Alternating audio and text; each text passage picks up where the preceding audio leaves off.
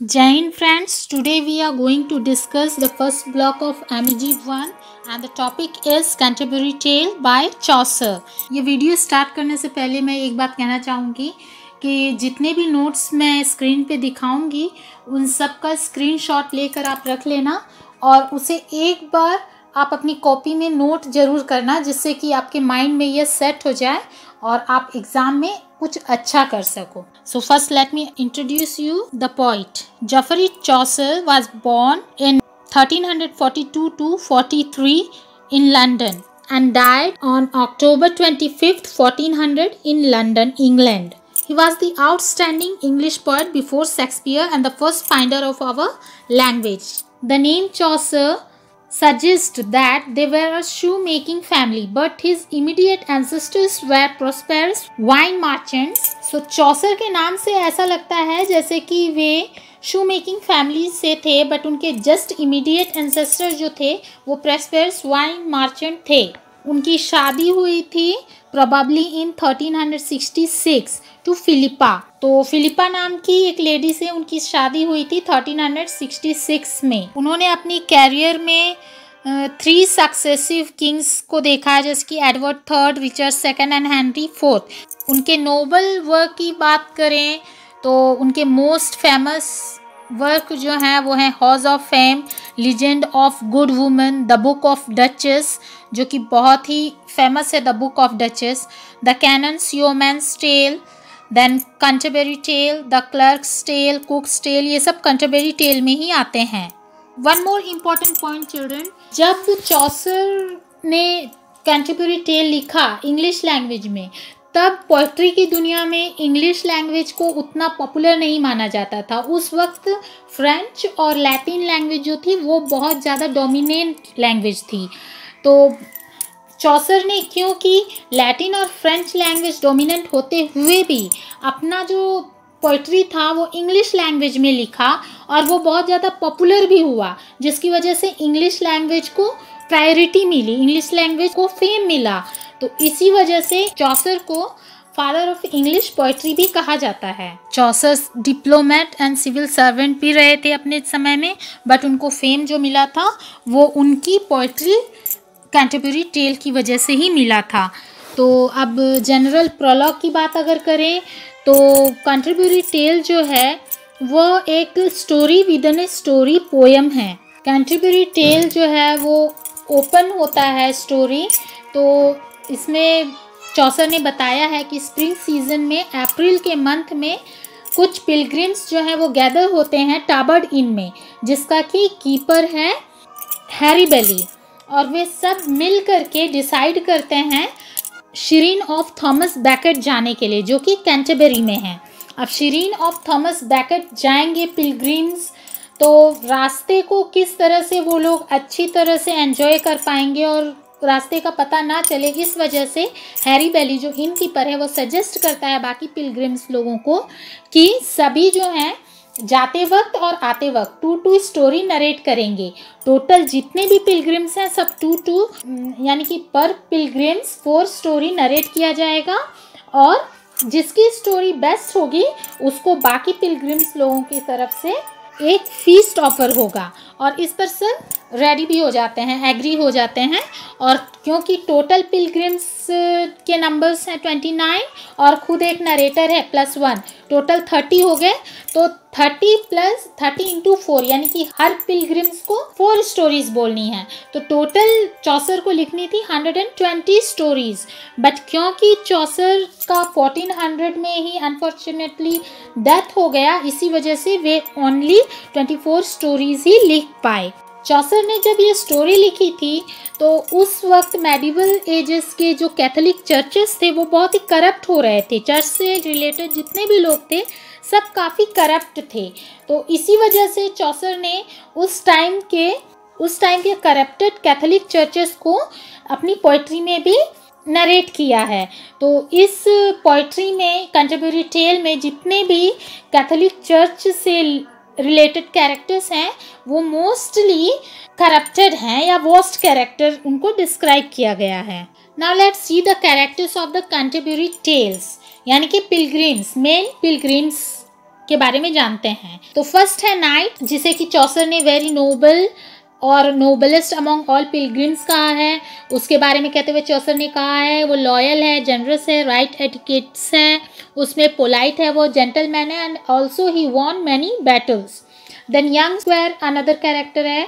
He is also brave soldier and he has a curly hair he is addicted to love war a dress with flower embroidery wants to impress his girlfriend by his skills like uh, singing, blowing flute, horse riding, and he can't sleep at night. He performs all his duties very well. तो young squire जो है वो एक brave soldier है उसने उसके curly hair हैं वो अपनी प्रेमिका के बारे में हमेशा सोचता रहता है, उसको इम्प्रेस करने के लिए गाना गाता है फ्लूट ब्लो करता है और राइडिंग करता है और रात भर उसी के बारे में सोचता रहता है। But he is a good person और वो अपनी सारी ड्यूटीज़ अच्छी तरह से निभाता now the next character is knight yeoman तो नाइट ह्यूमैन जो है वो ग्रीन ड्रेस पहना हुआ है और carrying a bow with a beautiful feather arrow and sword भी पकड़ा है एंड शील्ड भी पकड़ा हुआ है और देखने में वो फॉरेस्टर की तरह दिखाई देता है। Another character is maiden Eglantine जो कि प्रायरस भी है। वो क्या है कि कोर्ट्स के जितने भी मैनर्स हैं, उसको कॉपी करती रहती हैं, ज़्यादा शो ऑफ़ करती हैं, खुद को सुपीरियर बताने की कोशिश करती हैं। और हमेशा खाने में उनका कंसनट्रेट ज़्यादा रहता है और उनको आता नहीं है अच्छे से but she tries to speak French having great sympathy to arts animals she starts crying while sees a trapped rat and she also give roasted meat and milk to her dog narrator likes her character beautifully now the another character is monk monk जैसे कि यहाँ पे related होंगे church से तो वो थोड़े से करप्ट होंगे ज़रूर। तो उनके बारे में चौसर ने कहा है कि मोंग के पास बहुत सारे हॉर्सेस हैं, उसे हंटिंग पसंद है and he is very handsome he ignores rule of his order expensive dress पहनता है और उसके जो भी रूल ऑर्डर है, उसको वह नहीं मानता है। Now next character is friar friar मतलब तपस्वी according to religious order he suppose to live by begging for alms from citizen but he always interested in wealthy people he ignores the poor people he arranges penance he says that giving money to a friar is also a trusted way of penance he asks people to praise him तो friar जो है वो religious होते हुए भी अपने religion के हिसाब से नहीं रहता है। उसे तो भीख मांग करके लोगों से चलना चाहिए। बट वो जो है हमेशा पैसे कमाने में, पैसों में अपना इंटरेस्ट ज़्यादा रखता है। वो पीपुल पुअर पीपुल लोगों को इग्नोर करता है। हमेशा दूसरों से कहता है कि तुम तपस्या करो और एक फ्रायर, यानी कि एक तपस्वी को अगर तुम पैसे देते हो तो तुम्हारे जो भी पाप हैं, वो ख़त्म हो जाएँगे और हमेशा अपनी ही बड़ाई करता रहता है। तो ये ये नेचर है friar. Now next character is merchant. Merchant always talk about his income his dress are attractive and expensive he has many dept but he never disclose this he even didn't say his name to the group तो merchant जो है, वो हमेशा अपने income के बारे में बात करता रहता है अट्रैक्टिव ड्रेस पहनता है, जो कि बहुत ज़्यादा एक्सपेंसिव हैं, और उसे बहुत सारे उसके सर पे कर्ज है, लेकिन वो ये बात किसी से बताता नहीं है। इवन वो खुद के बारे में इतना सस्पेंस बता करके रखा है कि वो किसी को अपना नाम भी नहीं बताया है ग्रुप में। One more character is clerk. Clerk is very poor, even not able to earn his dwelling. Clothes are torn and old, but while he get money, instead of buying clothes, he buys book to read. His friends lent him money to buy book and his seriousness towards study can be seen in pilgrimage too. As he was reading book here also and don't take anyone his behavior is antisocial. तो ये जो clerk है वो बहुत ही गरीब है उसके पास खाने को नहीं है, कपड़े नहीं है, पहनने को अच्छे वो फटे हुए कपड़े पहनता है, लेकिन वो बिब्लियोफाइल टाइप का है, उसे बुक पढ़ना बहुत पसंद है। इसी वजह से जब भी उसे पैसे मिलते हैं तो वो खाना या कपड़ा नहीं देख करके बुक्स खरीद लेता है। और बुक पढ़ने का उसको इतना शौक है कि पिलग्रीमेज में भी वह किसी से बात नहीं करता है और सिर्फ़ बुक ही पढ़ता रहता है। वो एक एंटी सोशल टाइप का पर्सन है। Now the another character is Franklin He was a wealthy farmer with large land and many food, having white beard. A clever cook is with him, having skin ulcer. तो ये जो फ्रैंकलाइन है ये एक wealthy farmer है जिसके पास ढेर सारी ज़मीन है और बहुत सारा खाना भी है उसके सफ़ेद दाढ़ी है और उसके पास एक बहुत ही क्लेवर कुक भी है जिसको कि स्किन की अल्सर की प्रॉब्लम है now the another important character is the wife of Bath It is very important character among all characters and defined most by Chaucer. She is vain, bossy and immoral. She is also experienced woman. Her hips are very broad. She talks a lot in pilgrimage. Married five times and says Jesus never sat too satisfied with only one marriage. She says life is to take places so she pleased with body.